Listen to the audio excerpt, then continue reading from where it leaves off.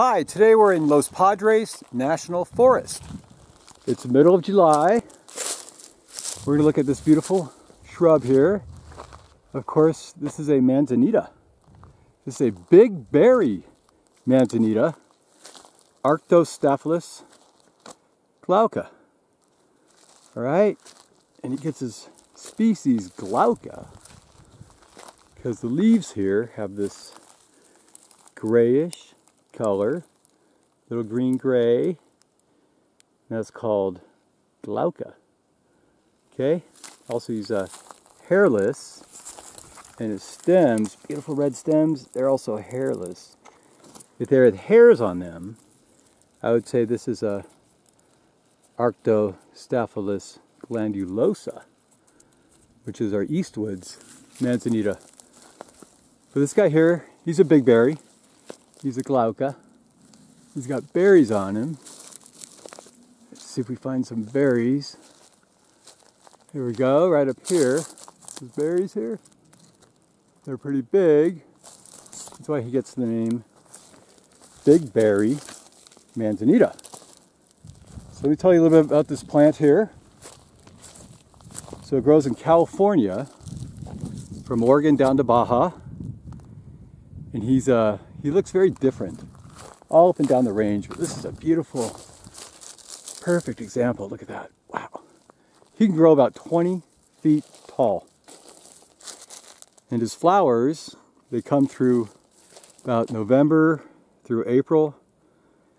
And then today's flowers represent next year's fruit. So Arctostaphylos comes from the Greek word arcto, that means bear, and staphule, which means a bunch of grapes. So Arctostaphylos means a bunch of bear grapes. Whether bears eat the grapes, or whether it just means a big bear of grapes. I'm not so sure. Look at these guys. Wow.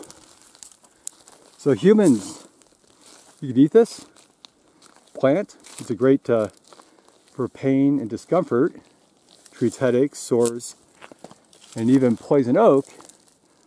And the fruits, you can eat those too. Make little uh, manzanita lemonade. So these plants are kind of special for pollination. So they're buzz pollinated by bumblebees. So we don't have any flowers here, but the bumblebees would bumble around and their vibrations will release the pollen from the flowers. Hey, look at that. Little tiny, tiny little flowers. Okay. It's got this great red bark that everybody loves. Look at this smooth, perfect bark. So each year it sheds the old bark. See how it's shedding here? And that helps keep the parasites out. Then underneath is this red bark that you'll see in the following year, it'll shed again. So every time you see a branching this is super branching, obviously. It looks like a big cluster of mega branches. Anyway, the branches come, come from the flowering. So every time it flowers, it'll interrupt the branch, and then a new branch will come out where the old flower was. So the flowers kind of dictate how this guy branches around. Look at this. Right here. Check that out super cool branching. You peel off the old bark, you get that beautiful red, smooth bark. Wow. You can make some cool stuff with this plant. It's our Manzanita glauca, right? Arctostaphylos glauca. Big berry Manzanita. Beautiful, beautiful leaves. Glauca leaves. Let's take a look, a look at those berries. Find some.